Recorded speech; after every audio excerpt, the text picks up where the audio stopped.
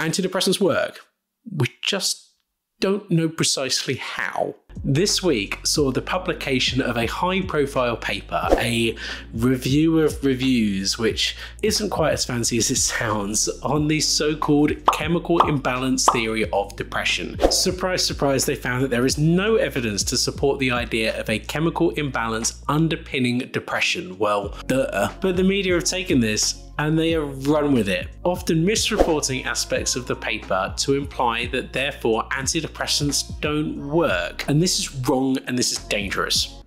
If you're not going to give them the tablets, if you're not going to give them the pills, if you're saying to them, well, actually, you can take them, but they're not really helping you, what would you say to those people going through this, which would give them some sort of hope, some sort of light at the end of the tunnel? What I would say is that people come out of depression it may take a while and it may take a lot of support, but people do come know, through it. I know someone who didn't come out. No, you're, you're right. So, so, yes, some people, you know, really yeah. sadly take their own lives. Because of that, it's created quite a stir among psychiatrists who have been quite quick to criticise the rationale, the methodology, and the conclusions of the paper, with some of the authors perhaps being more driven through ideology than through a critical appraisal of the literature and an open mind when it comes to the science. Before we start though, have you seen this paper? Have you seen the reporting of this paper? Have you seen all the interviews that have happened on TV around the world on this? What are your thoughts about it? Leave them in the comments below. Let's see and compare your thoughts to it to mine by the end of this video, hey? Let's debunk this paper and let's talk about why serotonin alone doesn't explain depression, nor did science think it did. But even if it's not serotonin alone, that doesn't mean that antidepressants don't work. Welcome back to my channel. My name is Dr. Elliott Carthy. I am a psychiatrist in the UK, and on my channel, I make videos around mental health, mental illness, hopefully in a somewhat accessible way. Depression affects about one in seven of us. It usually follows this relapsing and remitting pattern where the symptoms will come, you'll have some form of treatment that will help those symptoms to remit, and then some people might experience further episodes down the line. The more episodes somebody has, the more likely somebody is to have further episodes, so puts more of a, uh, an emphasis on the need for maintenance treatment, not just treatment for the acute episodes when they happen. Prevention really becomes much more key. And we in psychiatry, we follow what's called the biopsychosocial model of treatment. So the more biological treatments might include various types of antidepressants, then the psychological treatments like cognitive behavioral therapy is probably the most common one people have heard of, and then social interventions and various combinations of these together can be and are a really effective treatment for depression. The symptoms that someone experiences with depression are variable. It's not a single disorder. Some people might experience profound guilt and hopelessness. Others get this overwhelming sense of emptiness and nothingness. Some people find their appetite goes some people find that it's really difficult to get off to sleep. Other people find their appetite goes way up and they're binge eating a lot of the time and they're tired all the time and sleeping all the time.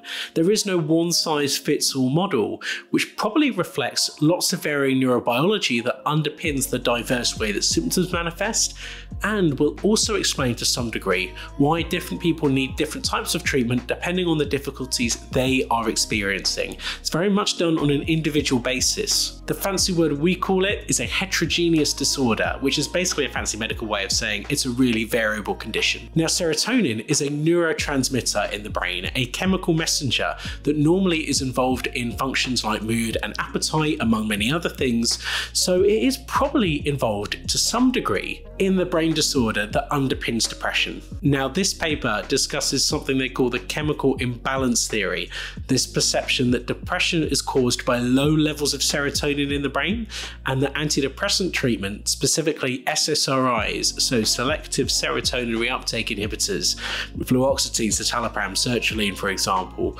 work by correcting this deficit and that's why people's symptoms get better in depression. And this stems from something called the monoamine hypothesis, which was a pretty revolutionary scientific theory back in the 1960s, though as we'll come to discuss, outdated by today's knowledge prior to the late 1950s and the 1960s, we had uh, very little in the way of treatments for most mental illnesses other than locking people away in asylums and very crude and primitive treatments, basically just sedating people with barbiturates and sometimes using various different chemical and physical forms of restraint. But the monoamine hypothesis changed things for depression. We had this antihypertensive drug called reserpine.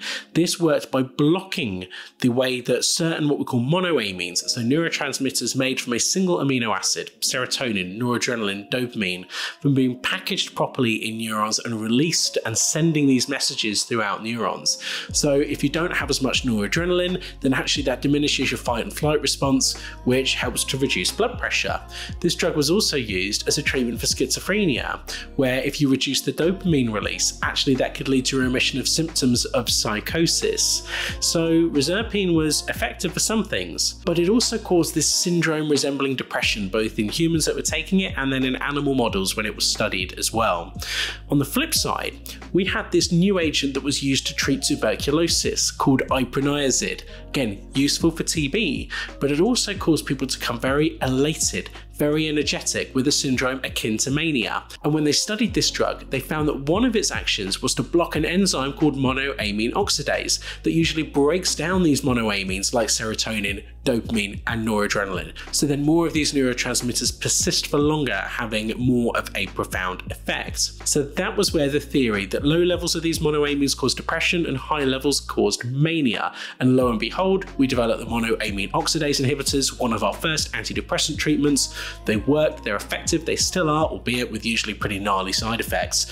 And then when we get to the 80s and to the early 90s, we developed the SSRIs, selective serotonin reuptake inhibitors. Fluoxetine or Prozac was the first one, and we found that there's been a much wider availability of antidepressant treatment for more people ever since, with this class of drugs that are not only effective, but, but for most people, pretty well tolerated. SSRIs work by blocking the recycling of serotonin, changing the balance of serotonin inside versus outside of the neuron that somehow goes on to be a really effective treatment for depression. So this is where the theory that low levels of serotonin cause depression and these are corrected by SSRIs and that's why they work as antidepressants comes from.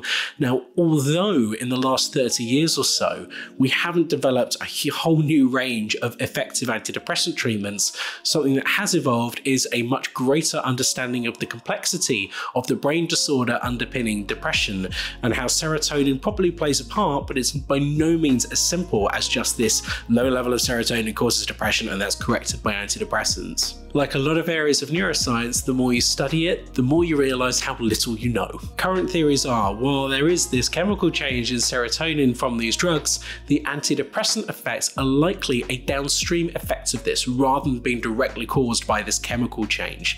So that might include changes in the way that neurons connect with each other in key parts of the brain involved in depression, a concept called synaptic plasticity that's mediated by this chemical called brain-derived neurotrophic factor or BDNF. There are other theories around altering the inflammatory response within the brain and the immune response within the brain that may be important.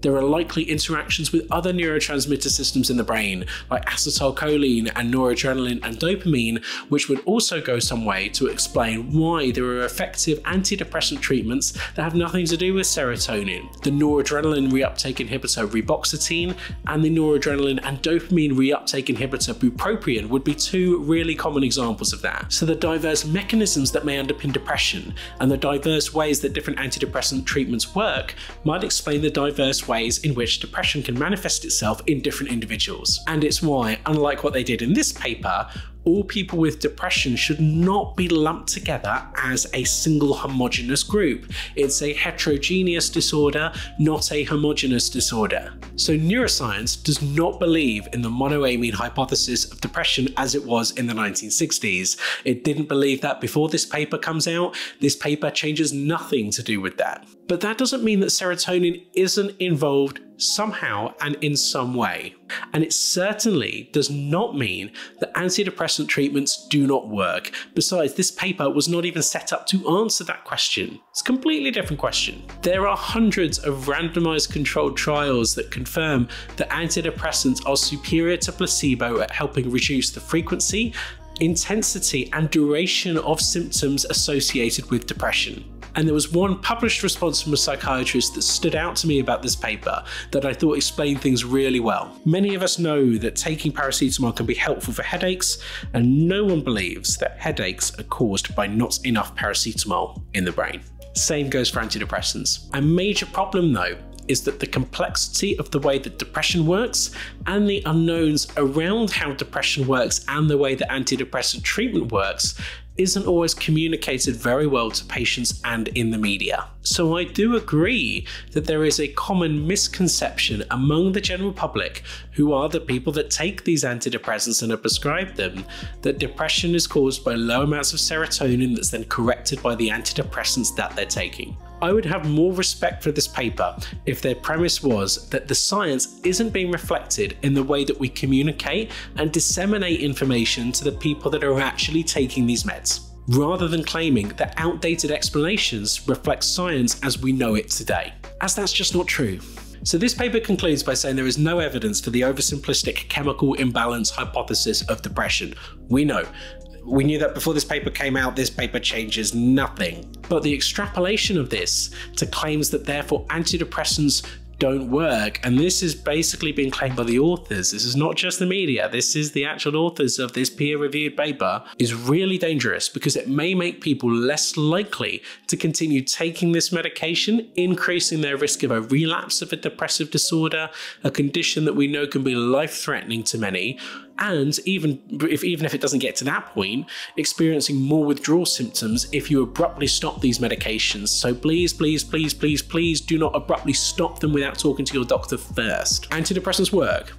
We just don't know precisely how. So rather than this ideologically driven attempt to discredit a group of medications that can be life saving and at the very least just helpful for so many people, why not focus on the need for better science communication? Particularly, how can we help GPs be able to explain the complexity of depression and antidepressants to people they're prescribing this to? Because they're the most common people that prescribe it when they, you know they've only got an eight minute appointment to deal with the entire problem. Maybe there is something good that will come out of this paper maybe the side effect of this paper is that maybe, maybe it'll encourage us to rethink how we explain this condition and its treatment to the patients that we're prescribing this medication to. Let me know what you thought in the comments below, and I will see you for another video very soon. Thanks a lot. Bye.